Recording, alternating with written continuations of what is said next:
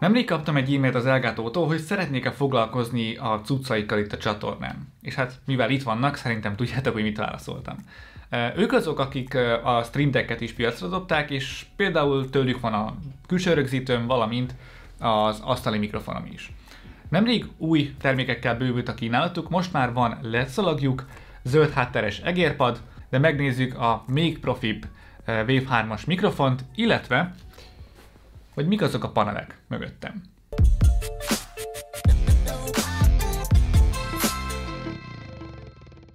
Hogyha streamelsz vagy gondolkozol streamelésben, akkor mindenképpen érdemes számításba venni az elgátót, függetlenül attól, hogy most csak ezekről a termékekről van szó, ugyanis kifejezetten erre a területre szakosodtak, Camlinkkel például a kameránkat köthetjük a számítógéphez, ezáltal a stream képi világa is sokkal jobb lesz, mint webkamerával, a rögzítőkártyákkal más gépek kijelzőjét küldhetjük rá egy streamre, vagy rögzíthetjük a tartalmat a gép terhelése nélkül. De ugye ezen kívül vannak például zöld háttereik, asztali, valamint állólámpáik, és persze ott a Stream Deck is. A nálam lévő termékek közül kezdjük talán a legegyszerűbbel, ami az egérpad. Nagyon nem magyaráznám túl, ugyanis ez egy, egy zöld egérpad, tehát nem túl bonyolult termék, de kinek van ez? Ugye vannak azok a streamerek, akiknek külön kamera veszi a billentyűzet leütését, vagy az egérmozgatást, hogyha pedig szépen magyarosan kikijeled, akkor csak az fog látszódni, aminek kell. Kötelező darabnak nem mondanám azért, de az ötlet az mindenképpen jó, és akinek kell, aki ezt ki tudja használni, annak kifejezetten hasznos is lesz. Én mondjuk tech videókhoz nem igazán tudtam kihasználni. A felület egyébként poliészter, a széle a spamut, az alja pedig természetesen gumis. Minőségileg szerintem tökre rendben van a termék, és a koncepciója is jó. A videóban megjelenő elgátó termékek közül viszont ez az egyetlen, ami még nem kapható Magyarországon. Az ára egyébként ilyen 30 dollár környékén mozog. A következő a LED szalag. Ez a kategória abszolút nem újdonság, csomó márka árul hasonló LED szalagokat, ami viszont itt érdekes, hogy ez integrálható a Stream Deckre is, de hogyha nincsen Stream Decked, akkor van Androidra, iOS-re, Mac-re és PC-re is elérhető alkalmazás, a Control Center, amin keresztül lehet ezt vezérelni. Természetesen RGB-s szalagról van szó, az alkalmazásban teljes skálán lehet állítani a színt, van ugye külön RGB és fehér opció, állítható a színhőmérséklet, a fényerő, és beállíthatunk kedvenc színeket is, így ezeket gyorsabban el lehet érni.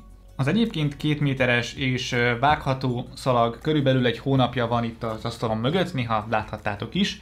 Szerintem tök jó a fényereje, kamerán sem vibrál, a ragasztással sem volt semmi gondom. Amit egyedül hiányolok, az a HomeKit, vagy a Google Home integráció, tehát csak az Elgato alkalmazásából lehet vezérelni. Egy streamernek a hangminőség legalább olyan fontos, mint a képi megjelenés, épp ezért mutatták be az Elgato Wave paneleket.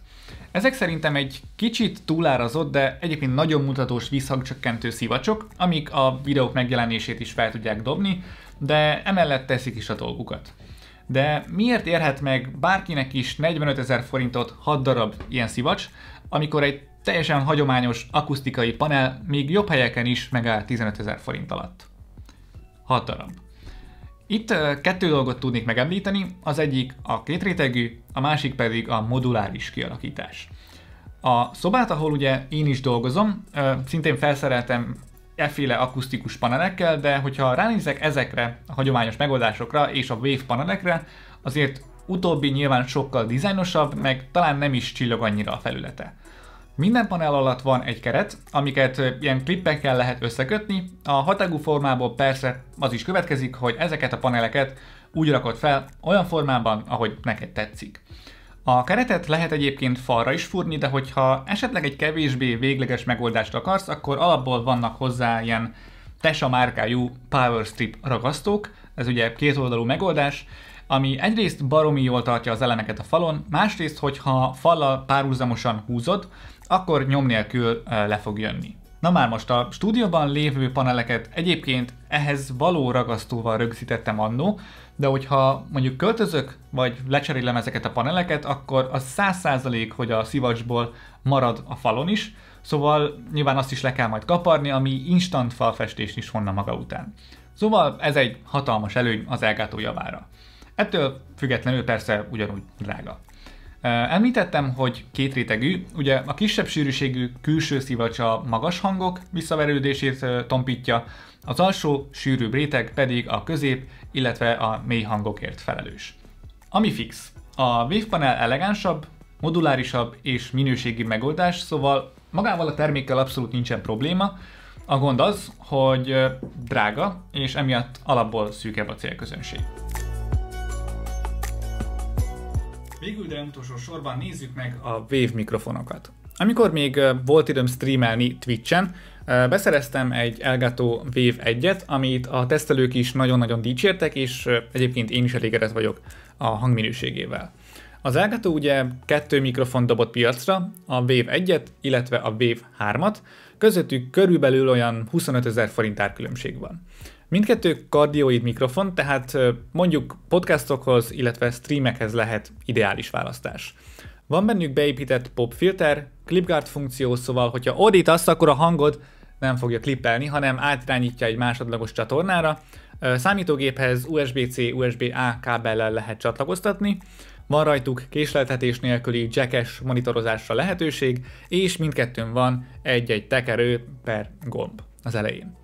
A Wave 1 esetében a gomb Pont, hogyha pedig a tekerőt használjuk, akkor ez a monitorozás hangrejét fogja változtatni, tehát hiába tekerem, nem a mikrofon hangrejét változtatom, ez mindenképpen fontos. Ellenben a Wave 3-on több LED, illetve több opció is van. Itt a tekerővel állíthatjuk magának a mikrofonnak a gényét, tehát a hangerejét, állíthatjuk a jackes kimeneti hangerőt, és van egy crossfade opció is, amivel egyensúlyba hozható a jackes monitor és a PC-t felé érkező hangerő.